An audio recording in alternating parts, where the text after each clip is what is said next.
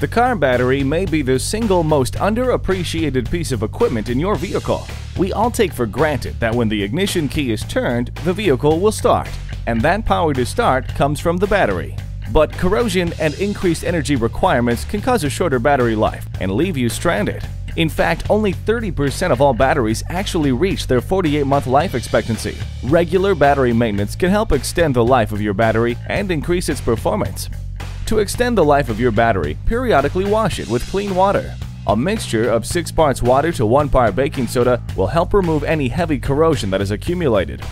Be sure and remove the battery connections and thoroughly clean and inspect them before reattaching them tightly.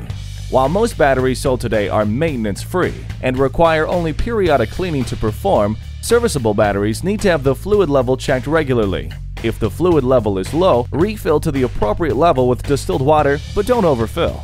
If you have questions about battery performance, visit our service facility. We'll be glad to help.